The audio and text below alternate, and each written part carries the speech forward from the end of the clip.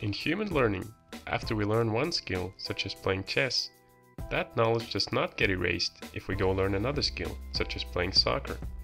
Research has shown that when learning multiple skills in a sequence, humans and animals suffer from only a gradual forgetting of previous skills. Robots and computers, however, behave differently. They suffer from what's called catastrophic forgetting, which means that when one skill is already known, it is lost rapidly as a new skill is learned. Current computational brains, known as artificial neural networks, learn skills by changing their neural connections in response to experiences.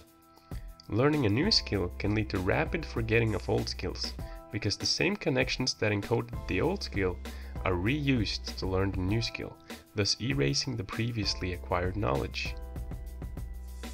Because of catastrophic forgetting, current robots and computers have a difficult time learning many different tasks in a sequence. Being able to avoid such forgetting would greatly increase the benefits robots can provide for society. So how did humans and animals evolve to learn without catastrophic forgetting? Biological brains exhibit a high degree of modularity, meaning they contain clusters of neurons with high degrees of connectivity within clusters, but low degrees of connectivity between clusters. We hypothesized that the evolutionary pressure to form neural modules could help reduce catastrophic forgetting, because a new skill can be learned in a different module than the previous skill, avoiding destructive interference. Normally when evolving neural networks in computer simulation, connections are free. Evolution can use as many connections as it wants without any penalty.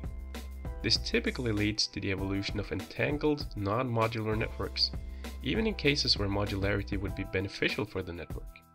However, a recent experiment demonstrated that when adding a cost of connections to the evolutionary process, evolution tends to reduce the number of connections, resulting in more modular networks.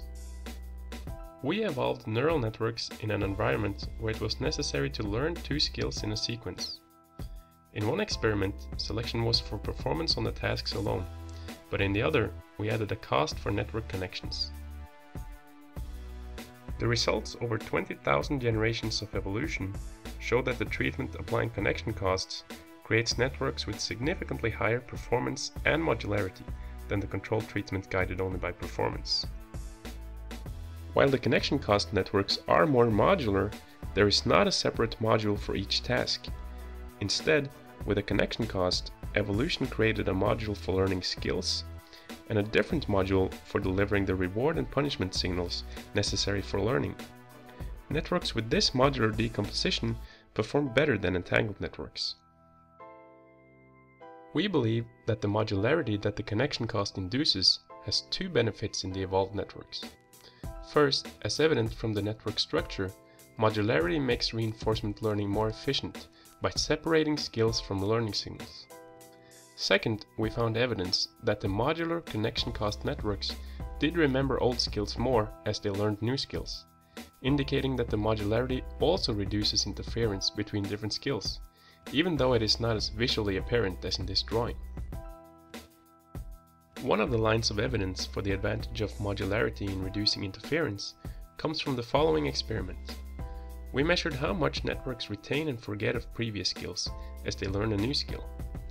The results show that the modular connection cost networks forget their learned skills less and correspondingly retain them better. In another experiment, we wanted to investigate how important the resistance to forgetting is in explaining the increased performance of connection cost networks. To study this, we evolved networks in a situation where they were not allowed to remember old skills as new skills are learned. As previously shown, in the normal situation, the connection cost leads to higher performance. However, in this new situation, where we force forgetting between the learning of different skills, the connection cost no longer yields an increase in performance. This indicates that the increased performance of the modular, sparsely connected networks is specifically related to their ability to avoid forgetting old skills as new skills are learned. Our research shows that evolving neural networks with a connection cost produces more modular networks that can better learn multiple skills without catastrophic forgetting. Further work in this direction will help produce more robust robotic controllers, able to learn multiple tasks sequentially, an ability that is essential in the complex and unpredictable environments we find in the real world.